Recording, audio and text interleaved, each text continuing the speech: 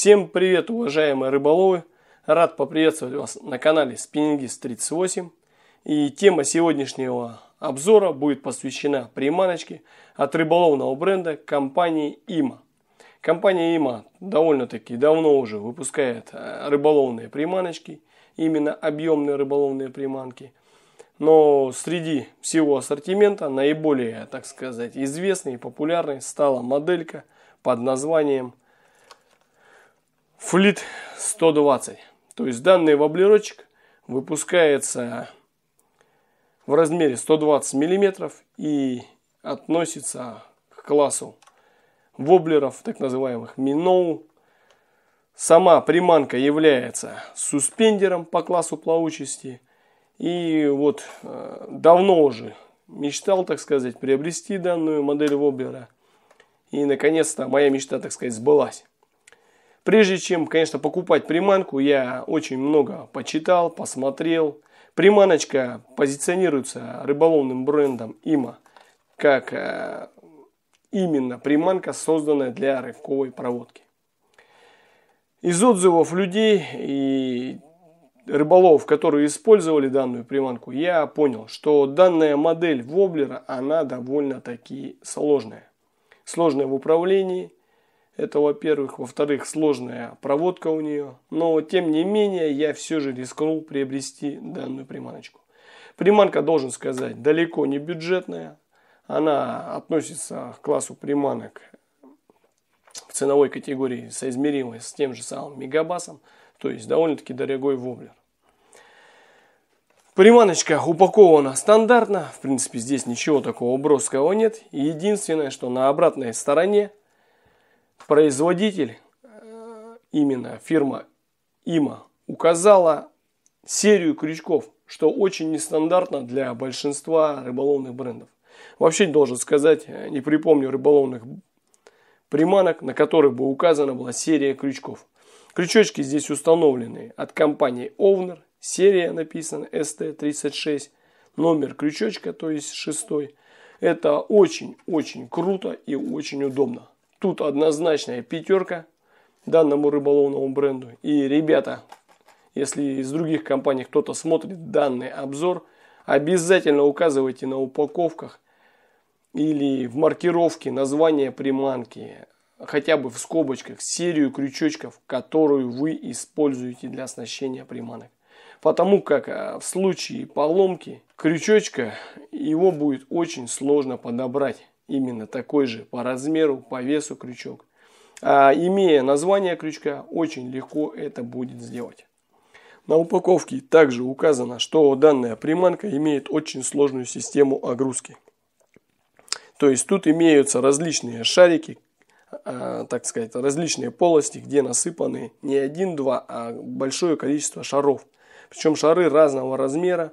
Плюс указано, что приманочка имеет систему дальнего заброса, состоящую из э, вот таких двух шариков, то есть разных по диаметру. Тоже должен сказать, это довольно-таки сложно. Сам воблерочек э, вешает 14 грамм, как указано на упаковке. То есть сейчас это мы и проверим. Давайте достанем приманочку и посмотрим качество ее исполнения и насколько же она интересно сделана. Сама приманочка представляет из себя классической форме миножку, очень яркую такую, расцветка типа мат тайгера, но она салатовая, то есть очень-очень заметная и очень яркая. Сама приманочка, конечно, имеет стандартную форму миножки, то есть прогонистое э, сигарообразное тело такое, цилиндрическое практически, с небольшой горбиночкой, Выполнено, конечно, очень классно. Как вы уже, наверное, слышите, воблерочек этот очень шумный. То есть он гремит как погремушка. Это самый шумный воблер, наверное, который у меня есть в коробке. По-настоящему шумит как детская погремушка.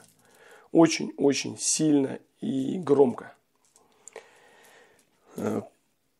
Приманочка оснащена тремя крючочечками, то есть небольших а, размеров крючки.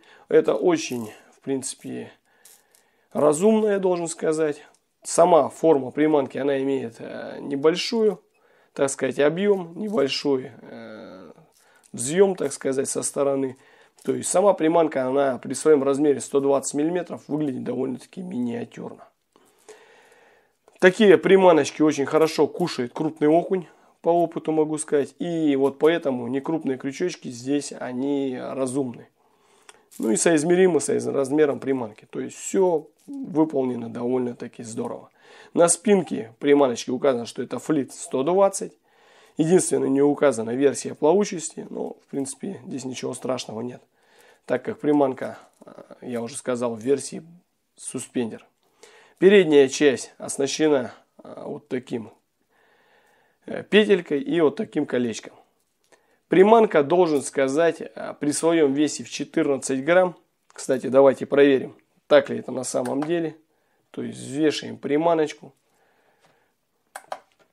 Вот, обнулил весы и ложу приманку на весы. Вес 15 грамм. Ну, в принципе, это нормально для погрешности весов. И, в принципе, в целом, это хорошо, хороший показатель.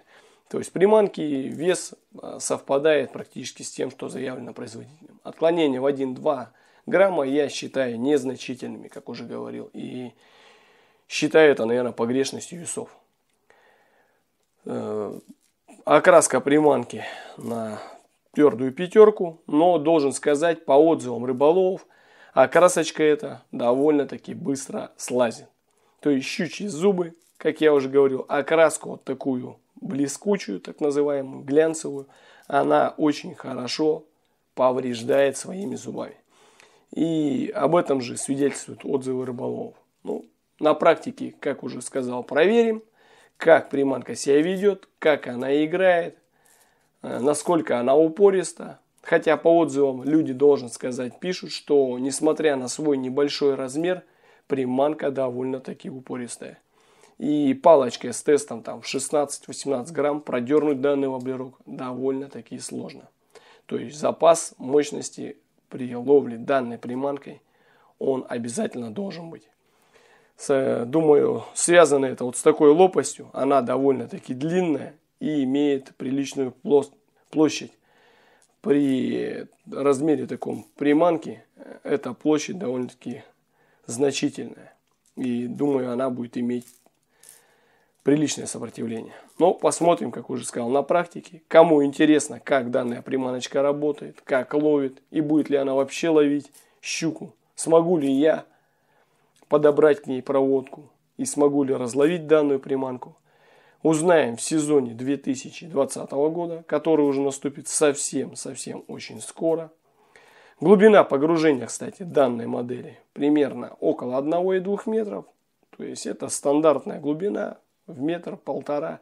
То есть это рабочая глубина, на которой проходит основная масса и, так сказать, рабочий горизонт основного типа воблеров и вообще основного типа приманок. И именно на этих глубинах от 1 до 3 метров мы ловим щуку. Почему от 1 до 3? Да, потому что основная масса хищника именно на этих глубинах и держится. И именно воблеры на этих глубинах обычно имеют наилучшую уловистость. То есть приманочка такая яркая, она, думаю, щуку с трехметровой глубины должна приманивать. Плюс еще и шумность, вот это. Однозначно должна вызывать у рыбы интерес, особенно в наших водоемах. У нас водоемы чистые, и поэтому приманка однозначно должна быть хорошо заметна. Так что, ребята, желаю всем удачи. Ну и до скорых встреч. Всем пока.